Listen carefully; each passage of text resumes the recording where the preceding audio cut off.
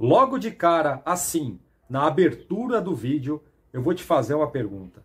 De 0 a 10, qual é o seu nível de confiança no futebol do São Paulo Futebol Clube?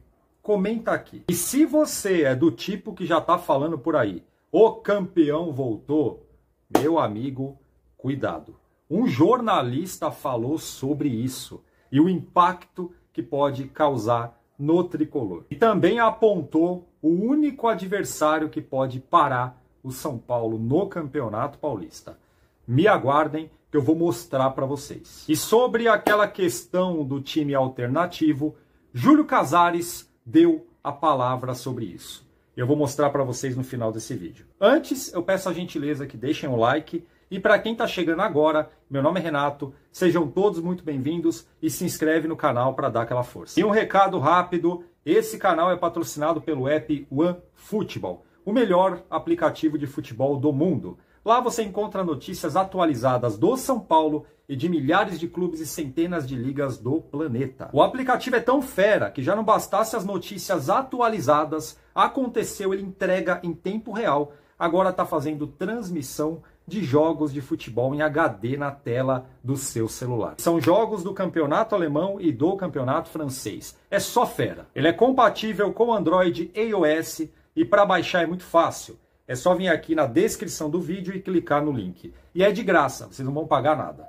Corre que ainda dá tempo. E aí, pessoal, vocês estão realmente felizes com o futebol do São Paulo? Já comentaram aqui o nível de confiança que vocês estão? O meu, eu já vou adiantar que é 10. Já lancei até uma camisa nova, só para vocês terem uma ideia. E eu gravei até um unbox dela. É aquele formato de vídeo que você tira o produto da embalagem e mostra os detalhes. Eu vou lançar esse vídeo, eu não sei o dia que você está assistindo esse, mas provavelmente entre quarta ou quinta-feira dessa semana o vídeo vai para o ar. Então já ativa o sininho para você receber que tá bem legal. E só para lembrar, é exatamente uma camiseta igual a essa eu vou estar presenteando um de vocês quando esse canal completar 100 mil inscritos. E se você quiser dobrar as chances de ganhar essa camisa, é só vir aqui nos comentários e deixar o palpite de qual número que eu mandei estampar nessa camisa aqui. E esse número vocês vão ver naquele vídeo que eu gravei explicando sobre ela, tá? Então é só aguardar e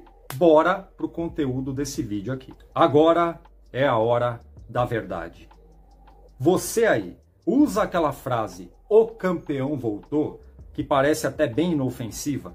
Você comenta sobre isso nas redes sociais, você manda mensagem nos grupos de WhatsApp, você fala essa frase abertamente no seu convívio familiar ou no meio de amigos. Saiba que um jornalista falou sobre ela e o poder de impacto que pode acontecer no São Paulo. E depois o pessoal da bancada falou o nome de um time que pode atrapalhar a vida do São Paulo no Campeonato Paulista. Vamos ver? Roda aí. Mauro Betting, o campeão voltou? É, isso zica. Ser... Isso zica. Nada contra. Pode zicar, como torcedor. o Jason tinha essa. Jason, o Jason. Mas uma hora vai voltar. O então, Jason falando... era bom. É, então falando do maior campeão em média de títulos do Brasil desde a fundação em 1930. Então não é o normal agora, né? E também, ah, mas não quer desde 12, desde a Sul-Americana, ok. Mas pense só o que Flamengo e Palmeiras, sobretudo eles, fizeram nesse período só, né? Em nível de investimento. Então também não é fácil ganhar. E outras equipes, o próprio Santos que falamos há pouco, o Corinthians teve momentos impressionantes. O 17 do Corinthians foi um negócio impressionante, não se esperava e foi ganhar praticamente tudo, né? É, o Grêmio, campeão da América em 17. Enfim, o São Paulo também é uma coisa que é dever dizer, pô, não ganhou nada tal. Mas sim, mas gente boa também ganhou, não foram quaisquer campeões nesse período. Então, sim. digamos, é, é, é é, compreensível, mas vai pedir paciência, é aquilo que a gente já falou no começo do programa e vou falar até o final dos tempos. Mas que tá melhor que a encomenda tá, ontem foi o caso com as reservas. É, pô, em clássicos, os 4 a 0 contra o Santos, não precisa nem dizer nada. 1 a 0 contra o Palmeiras, ah, mas tava desgastado. Tava, sim. Mas de novo no Allianz Parque com autoridade, com alternativas táticas, o Daniel Alves voando pela ala direita, acho que tem que jogar por ali. Reinaldo Quanto mais tiver como ala, melhor, porque aproveita o melhor do Reinaldo que a frente e atrás. Aí você tem uns caras, são referências como o Miranda, que não precisa nem jogar e já joga muito só do lado de fora. É, o time estava certinho. Ah, como aliás, é dever dizer, até a pandemia no Paulista do ano passado, eu via mais chance para o São Paulo voltar a ser campeão. E agora? Vamos falar já do Palmeiras. O Palmeiras do jeito que não está, não sei se vai, provável até que não vá. O Santos nessa pindaíba. Corinthians com melhores resultados do que o futebol, Hoje, não só pela campanha para já ser o primeiro classificado, o São Paulo é o favorito. Ah, isso zica. Não, você é para dizer quem que vai ser. O meu palpite no bolão agora, que aliás zero antes de começar o campeonato, que é da São Paulo. Mas não imaginava que o São Paulo ia estar tão bem, não imaginava que a campanha do Palmeiras seria ruim, não imaginava que o Corinthians, mesmo bem, jogasse tão mal. E o Santos eu já não imaginava mais nada. Porque o Santos que você não imagina que não vai dar, dá. Mas dessa vez não se vai dar no E Paulista. talvez o, o- pela bola, claro que no mata-mata às vezes muda. O Corinthians estava muito mal ano Só. passado e foi até a final. Até a final, quase Então, ganhou. então, pela bola, talvez o Bragantino seja o grande Isso que eu adversário. ia falar. É o Red Bull Bragantino que também. Sim, o São Paulo até no confronto direto já Ganhou de 1 a venceu. 0. E aquela coisa, é um jogo só, ou dois, enfim. Ma- Mas hoje é o São Paulo. O adversário a ser batido por todo mundo no Paulistão é o São Paulo. É, se o Paulistão fosse pontos corridos, o São Paulo já podia Sim, levar a sim, taça pra sim. casa, mas é, fato é que quando as decisões vão pra mata-mata, o São Paulo tem tido dificuldade. É, tem uma partida Uma importante. hora vira. É, também acho.